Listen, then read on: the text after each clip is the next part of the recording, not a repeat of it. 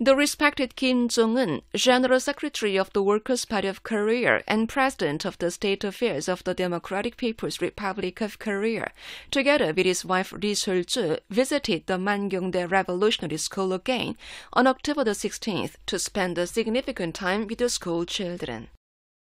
He was greeted on the spot by leading officials of the school. He was accompanied by Jo Yong-won, Pak Jong-chon, Ri Il-hwan, Ri Chung-gil, Kang Sun-nam, Kim Yo-jong, and Hyon Song-wol. Kim Jong-un looked around the education control room, the small arms lecture room, and other places of the school to learn about its education in detail. He said the school should make an active use of modern educational facilities and widely introduce the world's advanced teaching methods and latest scientific successes to constantly improve the quality of education.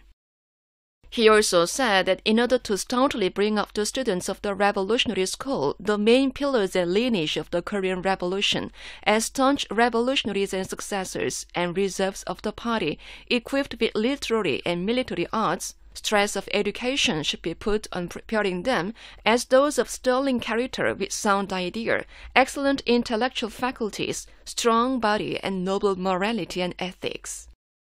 Kim Jong-un watched the martial arts and swimming training of students. He also watched the target practice with pistols by students of the graduating classes. Whenever the students hit the bullseye in succession, he expressed great satisfaction and applauded them before anybody else with a bright smile on his face.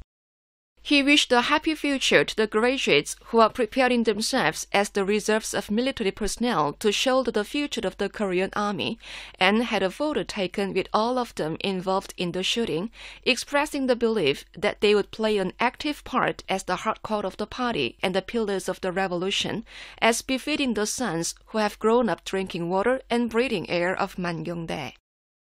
Kim Jong un dropped in at the dining hall to acquaint himself with the diet of the school children in detail.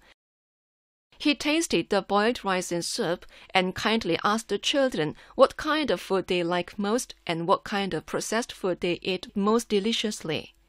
And he took kind measures to provide them with a lot of meat, eggs, fish, vegetables, kelp, pickled fish, and condiments on regular basis in order to improve their diet according to their tastes and requirements of nutrition.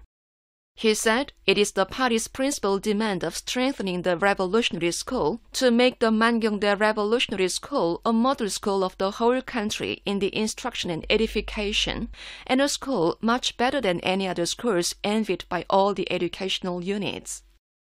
and he gave specific tasks and ways for the school to discharge its mission and duty. Before leaving the school, he earnestly requested the leading officials of the school to take care of the children, the precious treasures of the revolution, and the sons of the party.